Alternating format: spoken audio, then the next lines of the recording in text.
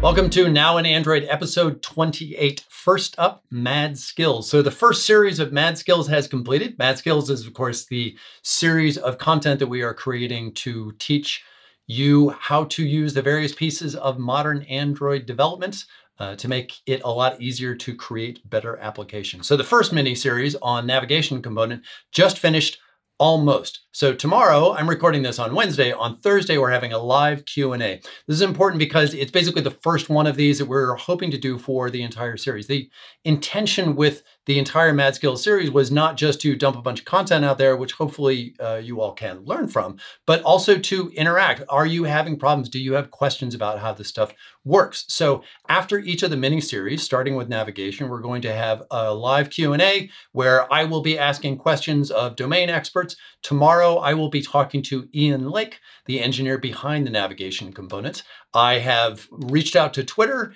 uh, and gotten a bunch of questions to ask Ian about. We'll have a conversation about how things work, and hopefully you can join us for the live one, except you're probably seeing this video after it already happened. So I'm mentioning it here because A, there will be a video of it that you can check out and you can see what the Q&A was like that you couldn't join on time. And B, because I want you to try to tune in for the future series, which I'm giving you notice for now so that you can't tell me later that it was too late. So join us tomorrow if you can magically do that, and certainly join us in the future. And in the meantime, think about those questions that you have for each of the mini series that we are posting.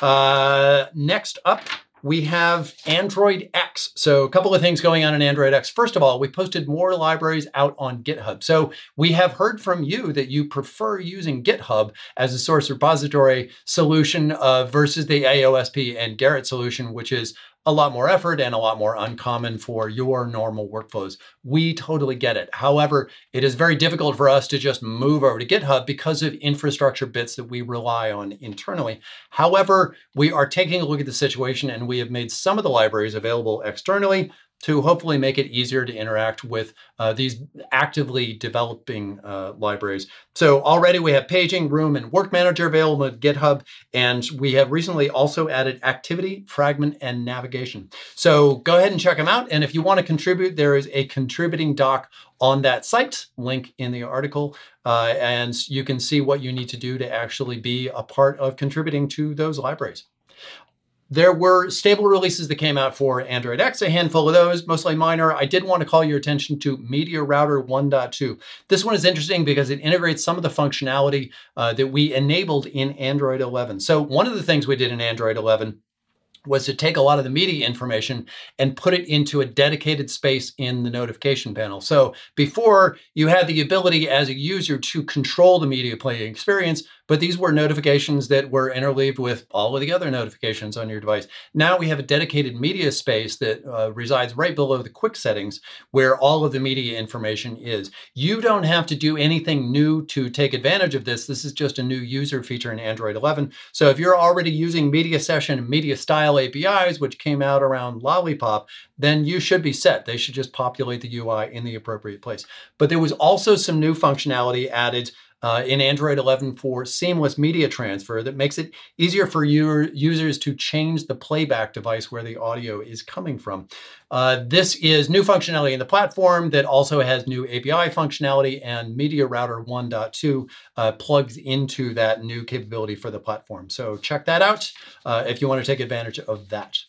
There were also a bunch of alpha releases and beta and RC, as there usually are, I normally don't go into detail on the alpha releases unless it's a brand new thing, but I did want to call your attention to a couple, which are sort of an interesting milestone going forward. So one of the questions that we've gotten a lot recently is, as developers look at the active development going on in architecture components, things like lifecycle view model, paging, navigation, whatever it is, uh, they think, well, yeah, but then you have this Jetpack Compose thing coming out. So why would I spend my time on this if obviously there's going to be a new solution there?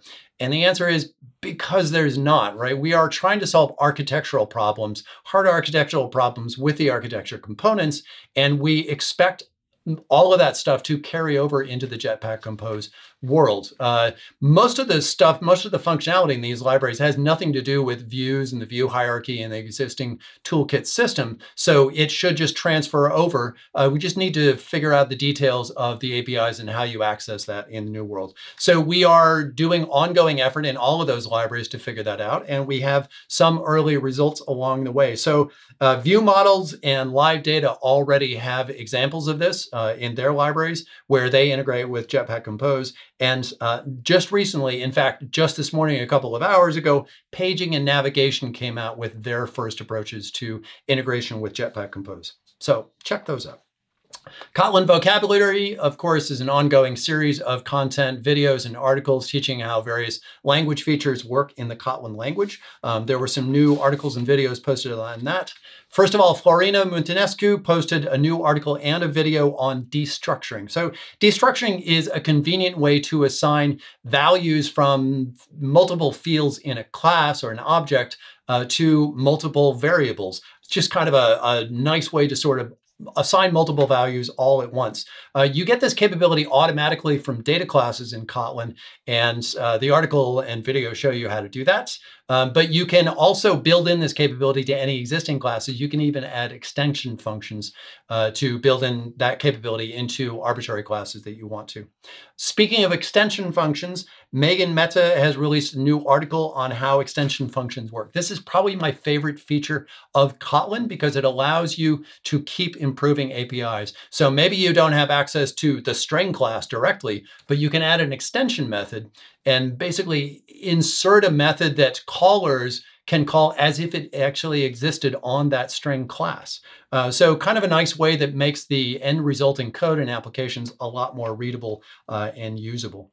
Uh, let's see, moving on to uh, coroutines. So there was a new article and video, uh, sorry, just a video published by Manuel Vivo uh, on the ABCs of coroutine. So he talks specifically about how things like coroutine scope, coroutine context, dispatchers, and jobs work. So maybe not so much the ABCs as the CCDJs of coroutines articles and videos. There were other articles and videos worth checking out. First of all, um, there's one from the Play team about common policy violations and how to work with them, how to do the right thing for your application.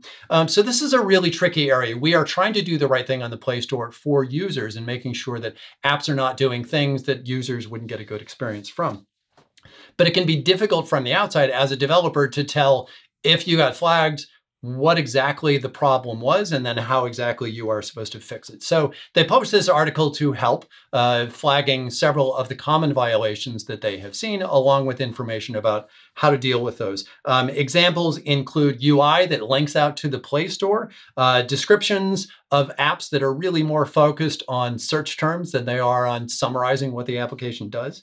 Uh, and also a really common one is some apps are basically nothing more than a thin web view wrapper around a website. Well, that's not the intention with applications on devices. That doesn't bring a good experience to users. Instead, we wanted to actually be an Android app that provides a good experience for the user. So um, these are three of the things. There's more in the article, so check that out for more details. Um, there were a bunch of videos posted from a recent DroidCon conference. So DroidCon did something interesting this time around uh, where it, it, besides just having online presence for um, their events, they also combined a bunch of events. So rather than there being, let's say, a DroidCon London this year, there was a DroidCon EMEA, which was uh, basically a time zone friendly version of DroidCon. Uh, that happened a few weeks ago. A bunch of us gave talks there. A bunch of people in the external community gave talks there. Thank you. Um, and there's a lot of information that's posted in videos on the DroidCon site, so you can check those out.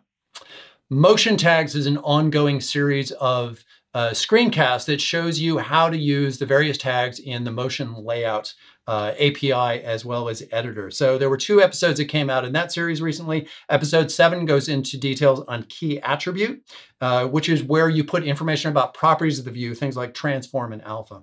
Episode eight covers key cycle. Um, so this is it has very similar information as uh, as does key attribute, but also adds information about the waveform that can be used uh, during an animation. This allows you changing that waveform uh, allows you to create really complex and interesting animations. because this can be tricky to use, there's also a standalone tool that we created that can be uh, can make it easier to actually edit uh, and create these things. Uh, so you can check out the play playlist for motion tags for all of the episodes uh, and certainly the two new ones that just came out. In the training space, uh, there was a new course that came out specifically the the new uh, Android Kotlin Developer Nanodegree from Udacity. Um, this helps you learn best practices for building Android apps in Kotlin. I should point out that the Nanodegree is a paid service uh, because it's not just course content. Instead, it also provides projects with feedback, uh, mentorship support, and career services from Udacity. However, the underlying content that the course that the Nanodegree is created from is free. We work with Udacity on creating that content as well as the overall uh, Nanodegree. Uh, and so you can access that. If you just want access to the content, you can check that out uh, with the links in the article.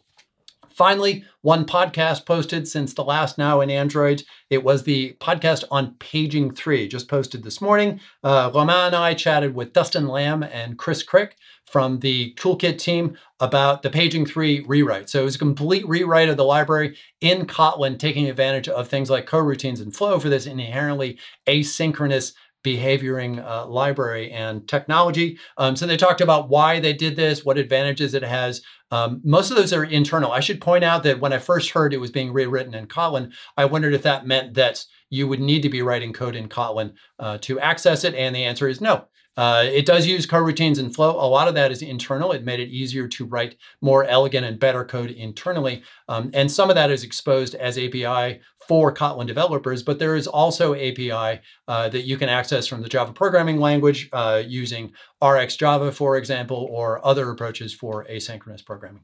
Uh, so check that out for more information on Paging 3, on Kotlin, on API design. We, we had a wide-ranging conversation there.